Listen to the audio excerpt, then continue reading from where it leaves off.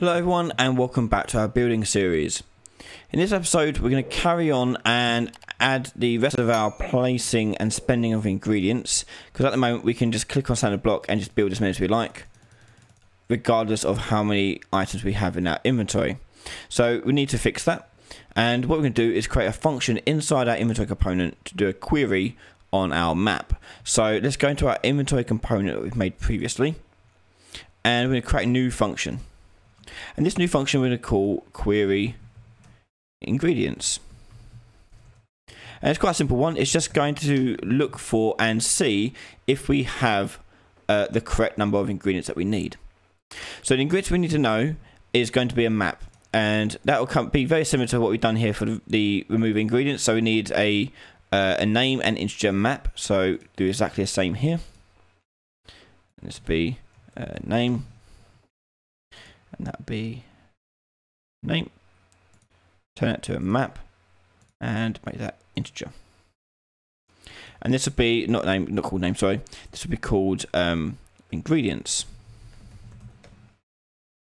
Okay, so what it's going to do is going to check if we have all these ingredients. So to do that, we need to get our ingredients out here, get the keys, and for each key in our ingredient list, we're going to come out of here and do a for each loop.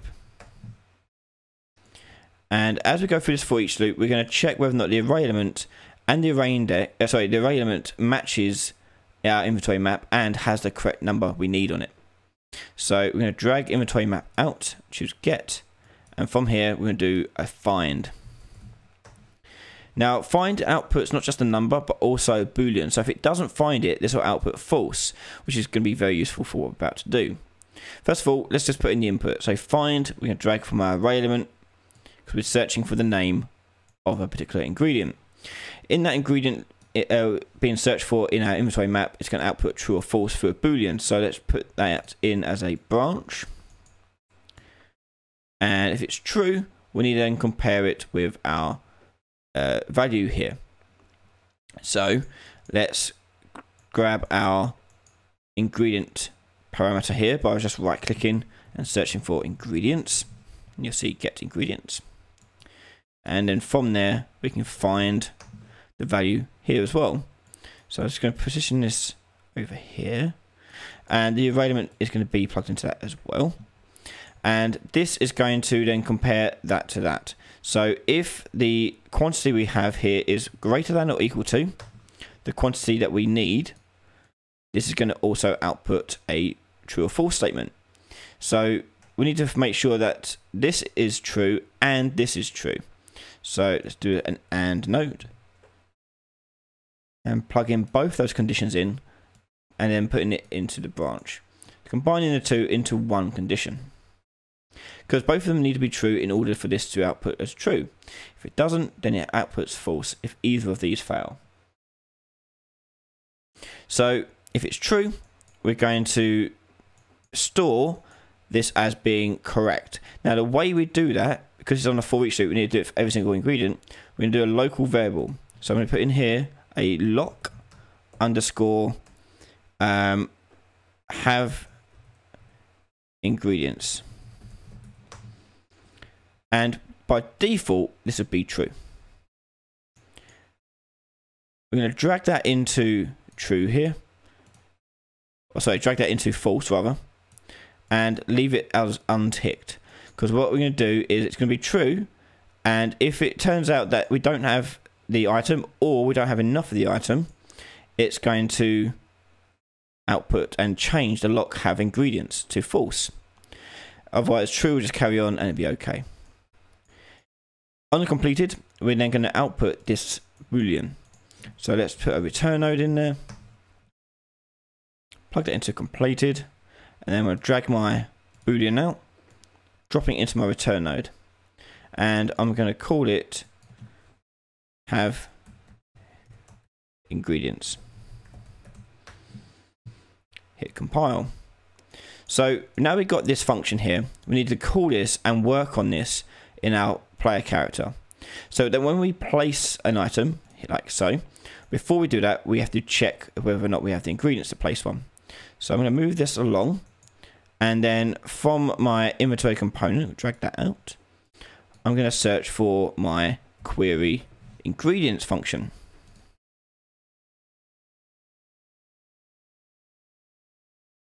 Inserting it in between the get here and the placed. We're going to use the block recipe again, so I'll move that back over here. And that'll plug in as the ingredients there. Because that's the, what the block requires. So it's going to query it, and then it's going to output true or false via this boolean. So as it is boolean, we'll put that into a branch. And if it's true, carry on as normal. If it's false though, we're going to basically tell it to clear whatever it's holding for now. Okay, so I'm going to do uh, set build piece to nothing.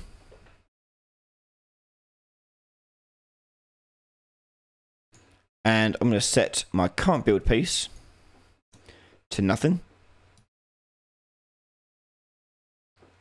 And I'm going to change my is building here set to false. Compile and let's see if that's enough. So I've got I need five wood to build a standard block and I have eight wood. So I should only be allowed to build one block. Okay, so I can only build one block. So we've still got to get rid of this one, this thing here but I still built one block. Okay, so once we build a block, not only are we checking it at the start, we also need to check at the end as well. So back onto my player characters thing here, and at the end, we're going to drag this out and do another query. So I'm just going to copy and paste this stuff.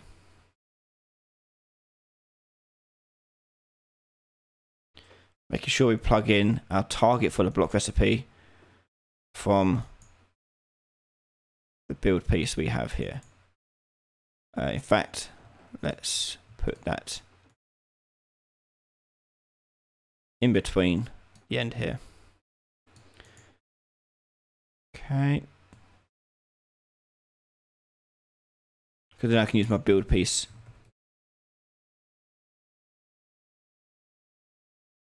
as the target. Okay, again, this is output a true or false statement. So let's put a branch in. And if it's true, carry on as normal. Otherwise, if it's false, we're going to be doing this stuff again. So I can just copy and paste that over here. Hit compile. And let's test this out. So again, I should only be able to build one block.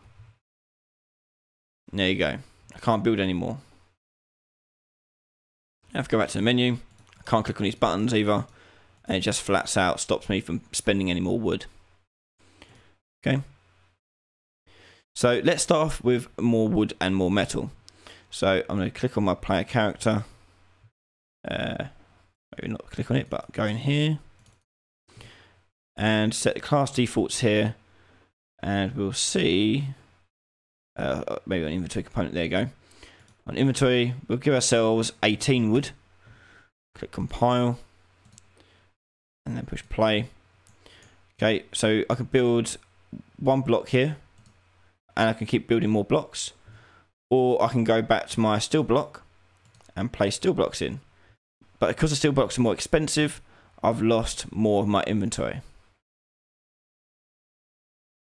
So you want to make a duplicate of your test block. So you can make a still block in this case, so a sibling block. And when you open it up, you want to change its settings to match those that you have inside of your data table. So that includes the name and the recipe that you have in mind for it.